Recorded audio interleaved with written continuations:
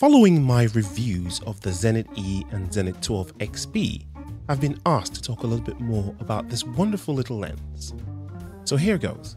The Helios 44 II is just one of the many Helios 44 series lenses manufactured by KMZ between the 50s and the 90s. It shares many of its desired properties with many other lenses in the Helios 44 family, including the much coveted swirly bokeh the Helios 44 II was one of the most mass-produced lenses of its time, having been the kit lens for so many Zenit cameras, of which millions were made. Over 12 million of the Zenit E alone were made, for example.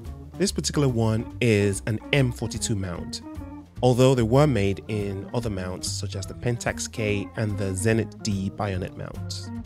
It is a 58mm f2 lens 58 millimeters because apparently the Soviets believed that to be closer to normal than the more popular 50 millimeters. It has six elements in four groups and it focuses from about half a meter to infinity.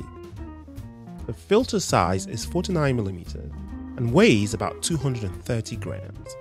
There are some variations of the Helios 44-2 depending on when they were made and by whom, and by that I mean which iteration of KMZ the company. But that's a long story. I really love this lens. It's not the sharpest lens in the world, but that's okay. Actually, it is the lack of sharpness that attracts quite a few people to it. Believe that or not. This particular one is single coated, so it suffers from light flares and hence it loses contrast at times. Again, this is normally a flaw, however, that flaw can be creatively exploited.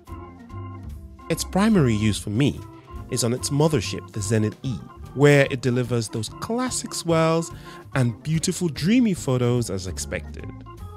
Secondarily, it is a very, very nice lens for video, especially if you're looking to create that cinematic feel. The Helios 44-2 has a smooth depth of field preview ring quite sure whether that's an appropriate name. With the aperture set to f16, you can stop down to f2 in one smooth motion with that ring. The intention is for you to be able to focus at f2 and then quickly return to your intended aperture. The unintended benefit of this is the ability to change the aperture very quickly and very smoothly while shooting video without disturbing the recording with any clicking sounds.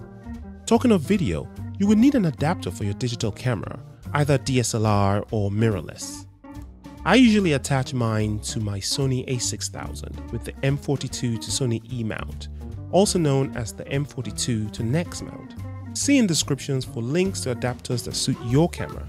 Ah, I forgot to mention, this whole thing was filmed in just this configuration, as well as this short demo. Enjoy and I'll see you next time.